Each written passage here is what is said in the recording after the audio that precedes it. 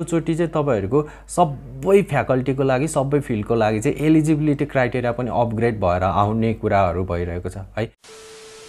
Okay so आजको यो भिडियोमा चाहिँ तपाईँको एनजी आएको छ भने चाहिँ इयर लस हुन्छ कि हुँदैन त्यसको बारेमा कुरा गर्नेछु। सो बिफोर द्याट च्यानलमा नयाँ हुनुहुन्छ भने चाहिँ च्यानललाई सब्सक्राइब गरिदिनुहोस् नोटिफिकेसन बेललाई पनि अन गरिदिनुहोस् ताकि मैले भिडियोजहरू हाल्दा चाहिँ तपाईँलाई नोटिफिकेसन आउनेछ। सो सुरु गरौँ आजको भिडियो।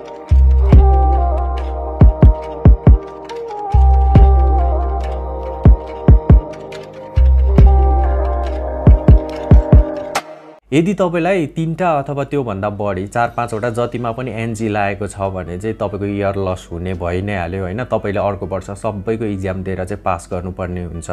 तर यदि तपाईँलाई चाहिँ एउटा अथवा दुईवटा है बढीमा दुईवटा एउटा अथवा दुईवटासम्म चाहिँ एनजी लागेको छ अथवा नट ग्रेडेड आएको छ भने चाहिँ तपाईँको इयर लस चाहिँ हुँदैन है। अब कसरी हुँदैन के के हुन्छ यसको बारेमा अलिकति डिटेलमा नै हेरौँ है। सो अहिले तपाईँहरूको रिइक्जामको कुरा गर्ने अथवा ग्रेट इन्क्रिमेन्टको इक्जामको कुरा गर्ने हो भने असोज तिस र एकतिस गते हुँदैछ होइन? सँगसँगै अहिले धेरै एडमिसनको नोटिसहरू पनि खुलिसकेको छ है? अब तपाईँ जो जतिले एनजीको इक्जाम दिनुभयो नि तपाईँहरूले चाहिँ अहिले खुलाएको नोटिसको डेडलाइनभित्र चाहिँ फर्म भर्न पाउनु भएन भने चाहिँ तपाईँहरूको लागि भनेर चाहिँ सेकेन्ड एडमिसन नोटिस अथवा सेकेन्ड इन्ट्रान्स इक्जाम नोटिस भनेर अथवा सेकेन्ड नोटिस भनेर चाहिँ निकाल्छ र त्यहाँ बाट चाहिँ तपाईँले फर्महरू भरेर इन्ट्रान्स इक्जामहरू दिएर चाहिँ एडमिसन गर्न पाउनुहुन्छ। है यो चाहिँ अब फ्याकल्टी अफ म्यानेजमेन्टको होइन म्यानेजमेन्ट फिल्डको जुनसुकै पढ्न पाउनेको पनि यस्तै हुन्छ।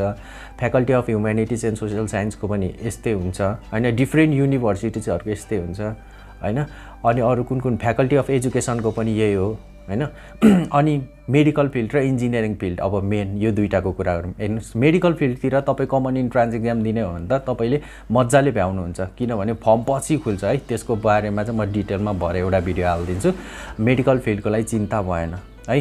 अब अर्को बाँकी रह्यो इन्जिनियरिङ फिल्डको लागि। होइन इन्जिनियरिङ फिल्डमा चाहिँ के हो भने जहाँसम्म मलाई लाग्छ कार्तिक सेकेन्ड विक थर्ड विकतिर तपाईँहरूको आइओएको इन्ट्रान्स इक्जाम भयो भने त तपाईँको असोज तिस एकतिस गतेकोले त भ्याउँदैन।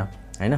सो तपाईँहरूको लागि चाहिँ अब के गर्छ? त्यो चाहिँ अब आइओईको नोटिसै पर्खिनुपर्छ। तर जहाँसम्म मलाई लाग्छ आइओईले कतै न कतै मेन्सन गरेको हुन्छ कि? होइन? जसको एनजी आएको छ उनीहरूको केही कुराहरू मागेर प्रवेश पत्रहरू मागेर पछि एनजीबाट ग्रेडेड भएर अथवा पास भएर होइन? त्यहाँबाट सर्टिफिकेट पनि बुझाउ बुझाउँदा हुने होइन त्यस्तै केही जस आइओले पनि मिलाउला तपाईँहरूको पनि इयर लस चाहिँ हुँदैन जस्तो लाग्छ।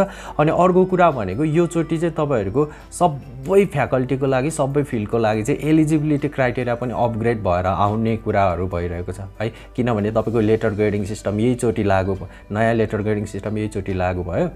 त्यहाँ डी भन्ने आयो एनजी भन्ने आयो डी प्लस हटायो होइन? त्यो हटाए सँगसँगै अब युनिभर्सिटिजहरूले चाहिँ ब्याचलर लेभलको लागि एलिजिबिलिटी क्राइटेरिया पनि मेन्टेन अथवा अपडेट गराउने कुराहरू पनि भइरहेको छ।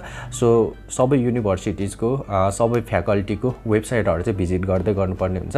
म पनि गर्दै गर्छु र त्यस्तो अपडेटहरू आयो भने चाहिँ म तपाईँहरूलाई अपडेट पनि गराउँछु। र ओभरअल आजको भिडियोमा भन्ने भने चाहिँ तपाईँहरूको एउटा अथवा दुईवटा सब्जेक्टमा एनजी लागेको छ भने चाहिँ इयर लस हुने चान्स चाहिँ छैन। होइन है र यो कुरा मैले तपाईँहरूलाई क्लास टुवेल्भको इक्जाम सुरु हुनुभन्दा अगाडि पनि भनेको थिएँ। मैले त्यहाँ के भनेको थिएँ भने कुनै सब्जेक्टहरू गाह्रो लागेको छ भने दुईवटासम्म चाहिँ स्किप गरेर पछि रिइक्जामको लागि राख पनि भनेको थिएँ है जसले प्रिपरेसन केही पनि गरेको थिएन है।